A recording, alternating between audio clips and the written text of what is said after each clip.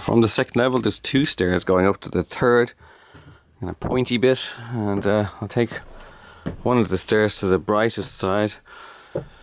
Uh, here, there was well, this was originally all closed off. That ceiling with boards like the others, uh, like well, basically like what you see underneath. Oak uh, battens between the beams, and then clay and straw mashed between them and on top of them to, to basically form a ceiling.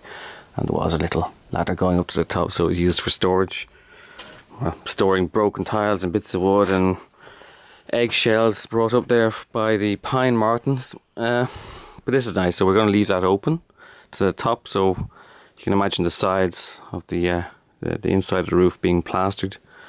And you got three nice windows and the gable wall, and then a pretty big, uh, uh, yeah, roof window, Velux window, uh, which we had to have a big one in, which is nice for us, but mainly because of uh, fire escape reasons.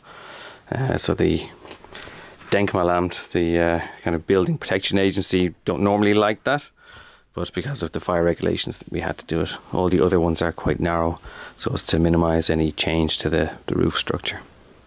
It's quite a simple area, so one room here, and uh, yeah, the chimney. This was a like a, a smoking compartment uh, with rails in it where you could hang your sausages and get them smoked when the fire was burning downstairs. And the other side is basically a mirror image. I'm not going to go all the way through, but that's what it looks like there. And that's the bathroom down below it. Again, this is where the wall will be built, so it's completely closed off. Ideas for here, on the side where I am, I'd like to have my office here because it's away from everything and it's uh, nice and bright.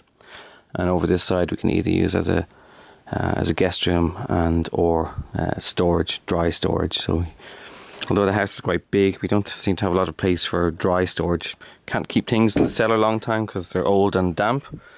So uh, yeah, boxes for Christmas decorations and things like that would be handy to have up here. And that's the top level.